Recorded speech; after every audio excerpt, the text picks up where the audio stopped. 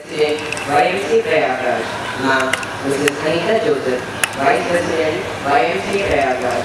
Now, Dr. Swarna Masih, Manager and Associate Director, YCSC Prayagraj. Respected Principal Ma'am, and Masura Masih, teachers and my dear friends. Rarely do we find men like our founder principal, Mr. B.T. Masih, within the boundary of time and space. Occasion of the memorial service for this eminent personality, few words of mine would not be sufficient to do justice to this multifaceted man.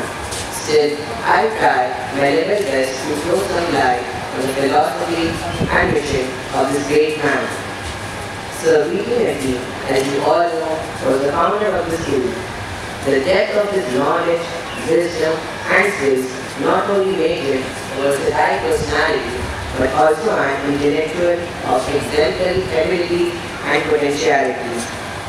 That deserve uh, to be enlisted among those international figures whose extraordinary brilliance got the attention of the world and who deserve the throne of international fame.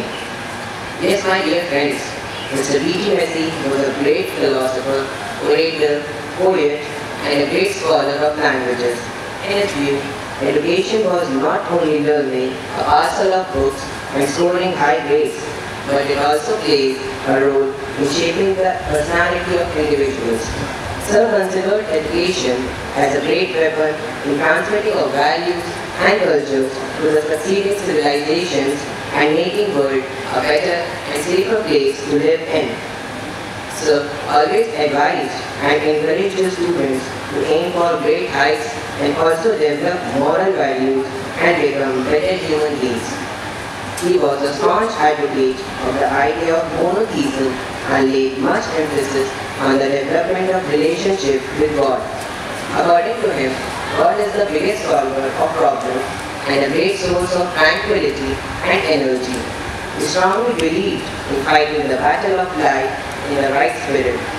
So always thank God for His mercy and grace in achieving one's goals. So my dear friends, on this solemn occasion, let us pledge to adopt the philosophy and views of our founder principal to transform our lives, be successful, and become a better and responsible world citizen. Keeping this in focus, I end my speech with a peace prayer of Saint Francis. Lord, make me an instrument of your peace. Where there is hatred, let me sow love. Where there is injury, pardon. Where there is doubt, faith. Where there is despair, hope. Where there is darkness, light. And where there is sadness, joy. Grant that I may not so much seek to be consoled as to console, to be understood as to understand, to be loved as to love. For it is in giving that we receive, it is in pardoning that we are pardoned, and it is in dying that we are born to eternal life. Thank you.